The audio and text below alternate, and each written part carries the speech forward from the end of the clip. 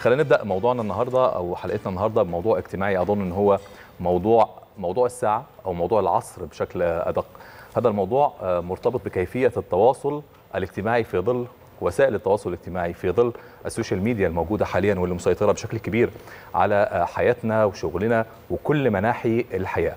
دراسة حديثة أجرتها مؤسسة جالوب الأمريكية وهي دراسة أو هي مؤسسة مهتمة بالاستقصاءات واستطلاعات الرأي وما إلى ذلك. شاركت في هذه الدراسة واستهدفت تحديدا سبع دول من بينها مصر وإندونيسيا والولايات المتحدة وفرنسا والمكسيك والبرازيل على ما أظن. كانت بتستهدف هذه الدراسة قياس مدى تواصل الناس في الدوائر الاجتماعية المحيطة بهم. أنا أعتقد وأظن أن النتائج معروفة. يعني النتائج أكيد إزاي الناس بتتواصل؟ أقل. هل قل؟ هل زي ما هو؟ هل زاد؟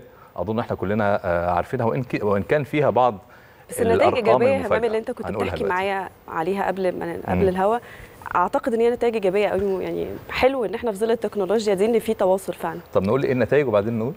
طب خلينا نقول النتائج. الأول. النتيجة اللي لفتت نظري تحديدا إن تقريبا تسع أشخاص من كل عشرة أشخاص في مصر بيتواصلوا يوميا على الأقل مرتين يوميا مع أحد الدوائر أو على الأقل فئتين من الدوائر الاجتماعية المحيطة سواء اللي كانت في الشغل أو العمل يعني أو الأقارب والأصدقاء أو حتى الأصدقاء البعيدين مش بس القريبين. صحيح النسبة دي بتقل مع تعدد الدول وتقدم الدول. هي بتتناسب طرديا مع تقدم الدول. يعني في مصر تسعة كل تسعة من عشر أشخاص. في الولايات المتحدة ستة من كل عشر تقصد انه أشخاص. الدول العربية فيها نسبة تواصل يمكن أكبر ما من الدول نسبة الغربية التواصل صحيح.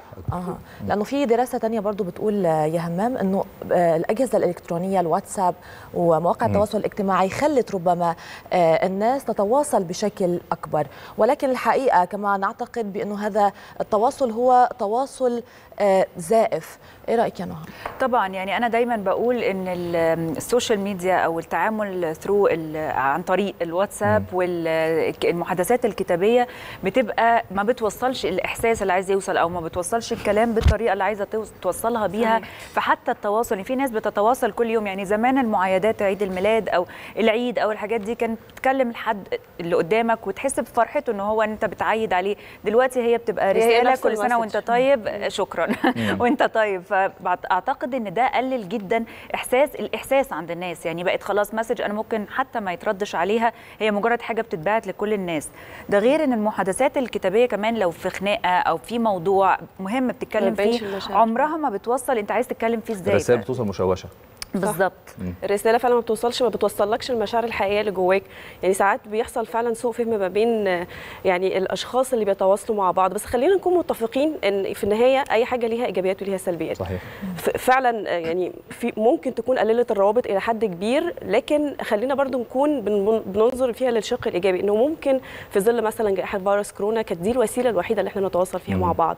آه كمان كلنا أكيد عندنا قرايب أصحاب عايشين بره ف... مش بالضرورة يعني ليس بالضرورة نتواصل بشكل مباشر لكن حتى عن طريق الهاتف بيكون أفضل. آه والدراسة استهدفت آه من ضمن الوسائل الاتصال. يعني هي كانت بتقيس الاتصال ده هل هو عن طريق التليفون؟ هل هو عن طريق الاتصال المباشر؟ هل هو عن طريق الواتساب ووسائل التواصل الحديثة؟ آه أنا اللي كان فاجئني بصراحة إن الدول العربية تحديدا في الدراسة دي كان موجود فيها مصر إن تسع أشخاص من كل عشرة لازم بيتواصلوا يوميا على الأقل مرتين يوميا بعدها جت باريس فرنسا. بعدها جت باريس. باريس كان تقريبا أكثر أو 8 ونص تقريبا وإندونيسيا 8 كان أقلها البرازيل تقريبا أقل من 5 ونص. قالوا إيه الأسباب يا همام؟ الدراسة ما كانتش بترصد أسباب لكن كانت بترصد نسبة وأرقام معينة. بس أنا أعتقد إن الأسباب م. يمكن بالذات في الدول العربية اللي هي فيها أكبر نسب للتواصل أعتقد إن الأسباب واضحة. لأن إحنا زم من زمان الدول العربية في دايما التجمعات الأسرية وفي دايما يعني في طقوس وعادات وتقاليد يعني إحنا متعودين عليها من وإحنا صغيرين. يمكن قلت عن زمان بس لسه موجودة. يمكن في كل الأعياد في كل المناسبات في كل حتى في في الأفراح في الشدائد كل الناس بتحب إن هي تبقى موجودة. فده اللي خلى أكيد الدول العربية مدركة قيمة وجود الصداقة والأسرة رغم وجود التكنولوجيا. يعني بشكل عام أنا لو وصلت له دلوقتي من كل الدراسات الخلاصة إنه هي ليها فوائد لو عرفنا نستغلها بالطريقة الصح وليها سلبيات يمكن بتأثر بشكل مباشر على التواصل بين البشر أو حتى على فهم الرسائل بالزبط. بشكل خاطئ.